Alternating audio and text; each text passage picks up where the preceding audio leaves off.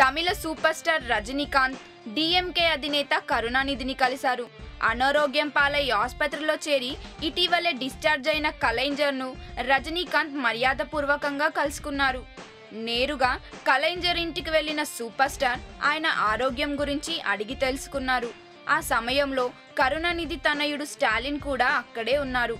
కాసేపటి తర్వాత బయలుదేరిన రజనీకాంత్ను స్టాలిన్ బయట దాకా వచ్చి సాగనంపారు. అనారోగ్యంతో జయ కరుణానిధి ఏకకాలంలో ఆసుపత్రిలో చేరారు.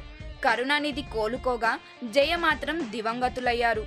ఆసుపత్రి నుంచి ఇంటికి వచ్చిన కరుణాను ఒక్కొక్కరే వచ్చి కలిసి పరామర్శిస్తూ వెళ్తున్నారు. ఇందులో భాగంగానే కరుణానిధిని కలిసి పరామర్శించారు.